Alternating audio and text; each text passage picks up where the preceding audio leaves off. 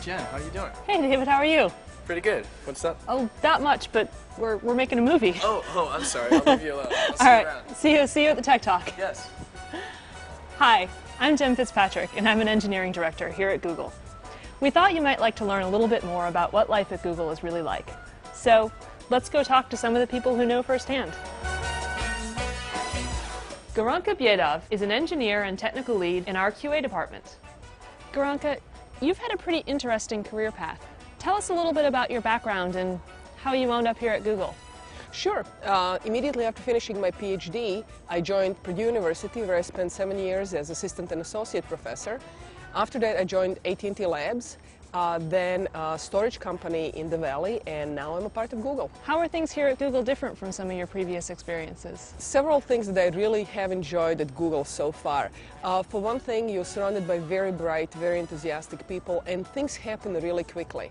My biggest frustration at some of my previous jobs has been that you would come up with the idea, and by the time it went back up uh, and came down and a decision was made, it could be years before anything was done. Here, things seem to happen on the order of days or weeks. You know, life at Google is about more than just work. The Googleplex here is designed to make life for people not only as productive as possible, but also as pleasant as possible. Just ask software engineer Lauren Baptist. She came to Google and never looked back. It's been a really easy transition. The Bay Area is a fantastic place to live. The weather is great, the people are great. You've got San Francisco just 40 minutes away from Google. What about the mentoring program? Has that been helpful? It's been really helpful. As you know, you were my official mentor when I joined, and you were, of course, extremely helpful to me. And over the past four years, I've had a lot of unofficial mentors as well. Lauren, you've been here for almost four years. What's exciting about the work that you do? Well, the problems are, are really, really interesting, and we're working on a product that millions of people use. I mean, that's, that's really exciting. It's fun to go to a party and meet people who've used Gmail, which I worked on for a year. Speaking of exciting work, one of the best perks of being a Google engineer is our famous 20% rule. All engineers at Google get 20% of their time to work on their own projects. So what kinds of things do engineers at Google do with their 20% time? I and a group of friends recently decided that we wanted to work on a project with other women, so about a week ago we held a brainstorming session with about 15 women where we discussed all of our product ideas.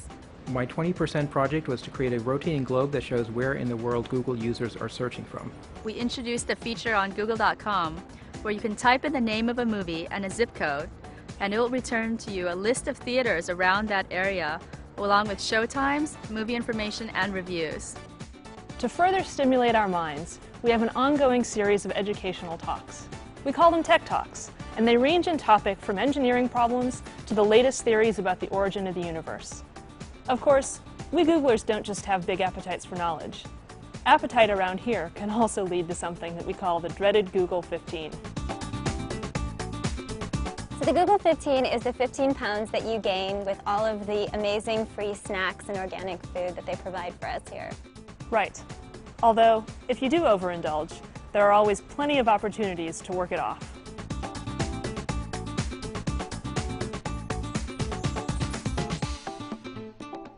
As you can see, balancing life and work is very important to us here at Google. For all the moms and dads that we have, Google's new Child Care Center just may be one of its most valuable programs. One of Google's parents is Leora Wiseman, a software engineer and mom to two kids. I had a baby about eight months ago. Um, it was really convenient. I had some time off before, and uh, 12 weeks after, I got takeout right after the delivery for two weeks for my whole family. Um, we had, uh, they sent us flowers. So we had like 75% pay for the whole 12 weeks, which was really convenient. And then coming back, there was a mother's room that I could pump milk and um, take care of the other stuff that I had to take care of. Sounds like that's really great.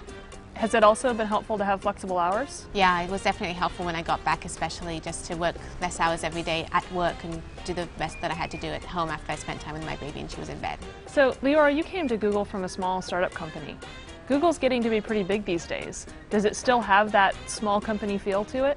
Yeah, absolutely. You get to work on interesting projects which don't take ages to launch, and you get to work with really cool people who are very smart and very interested in what they're doing, and you just, you know, you get this startup feeling of getting products out, which is really exciting.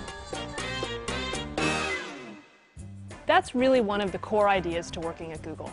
Ambitious ideas, fast responses, big achievements. And that's one of the key things that we look for when we're interviewing candidates. As Vice President of Engineering, Alan Eustace has been involved in interviewing a lot of those candidates.